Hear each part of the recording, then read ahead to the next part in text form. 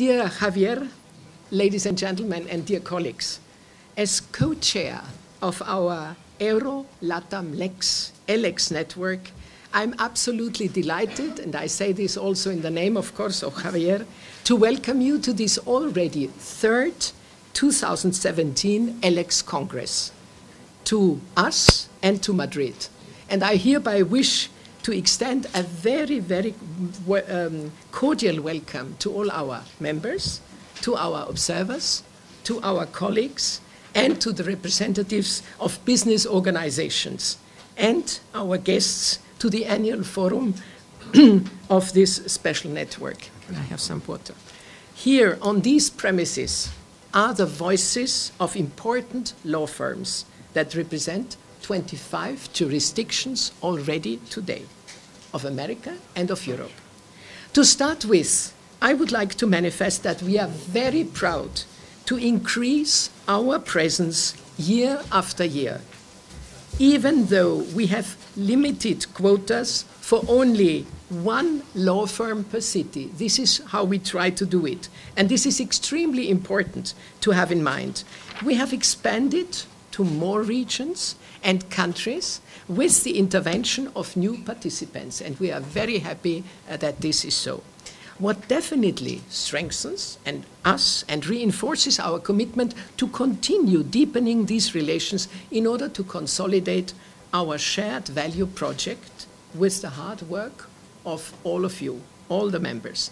Eventually, we have the presence from Berlin, Zurich, Geneva, Lisbon, Vienna, Verona, Milan, London, Caracas, Frankfurt, La Paz, Milan, Mexico City, Salvador de Bahia, Recife, Sao Paulo, Quito, New York, Rome, Guatemala, Panama, and of course our network here in Madrid and our new members.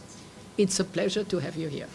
As we know, this meeting allows us to jointly approach the new prospects and challenges of a globalized legal sector, in which we are sure to find opportunities if we really work together. Let me refer to some points that will be touched on this occasion. The legal system is the basis of our society. But speaking about digital innovations, these are one step ahead of law and our regulations. Each step forward requires to be accompanied by, as we know, a normative adjustment to facilitate the process and enhance the opportunities that these innovations open the current political and economic challenges in the digital environment invite us to lead and to offer a new level of services from a legal stance with a direct impact on progress, adding leadership to law firms' management.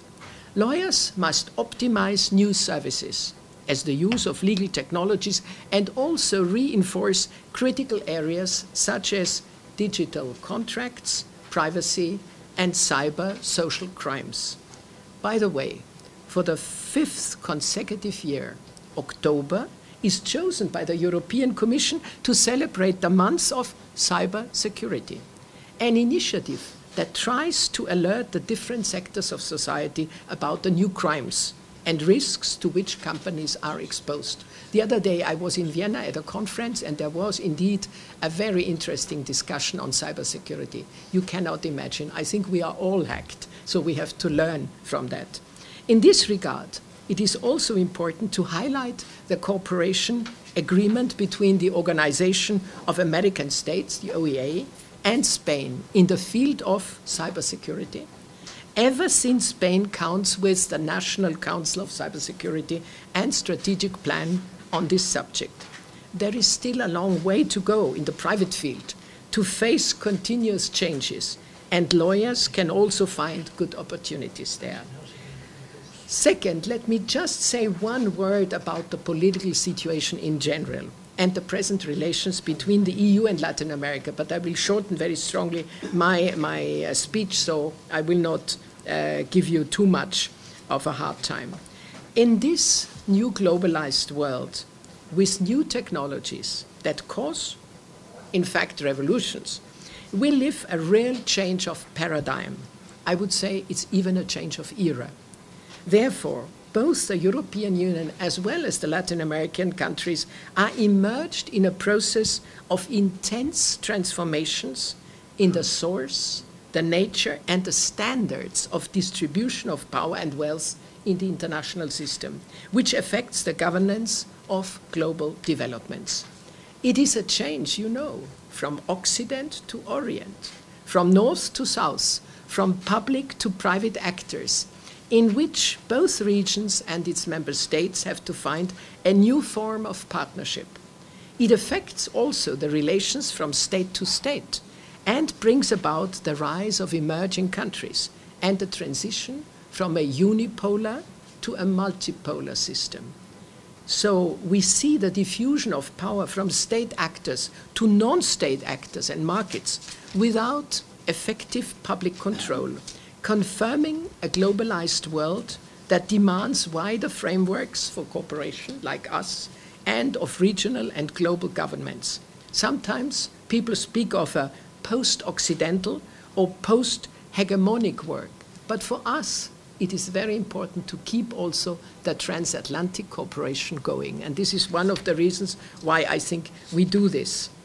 Let me just say uh, that. Uh, among the many trade agreements that uh, exist already between uh, the European Union and Latin America, there is one outstanding, as we all know, and we do hope that Mercosur agreement will be uh, finally signed.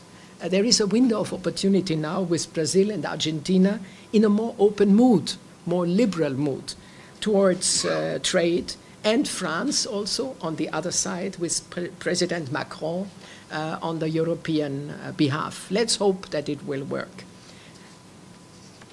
Now, having said this, let me just uh, touch on a third point, and that would be uh, somebody told me today that he was uh, at the meeting of chairmen of business organizations of both regions in Madrid, uh, I think in last June or very recently.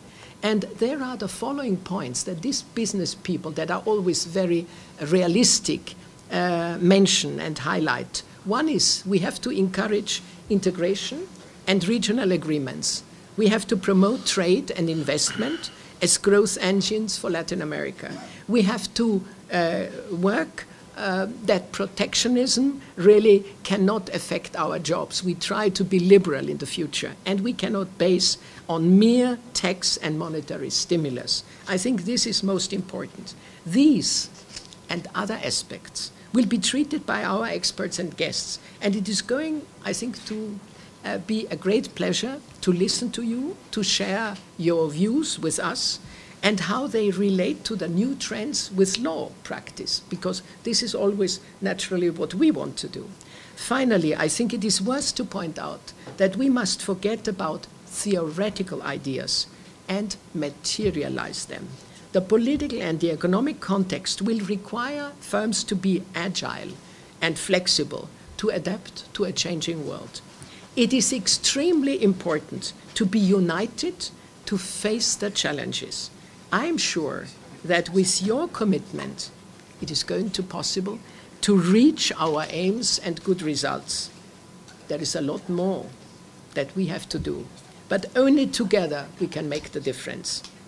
Being innovative and dis disruptive. The reason?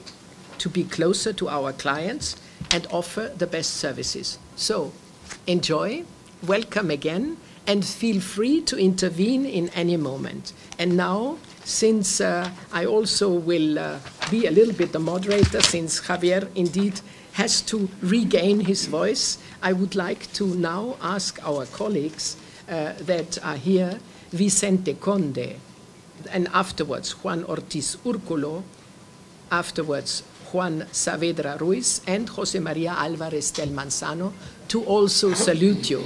Let me just say, Vicente Conde is a judge emeritus of the Constitutional Court and judge emeritus of the Supreme Court. He will speak in Spanish, but our colleague uh, will uh, translate. Please, have, have my seat.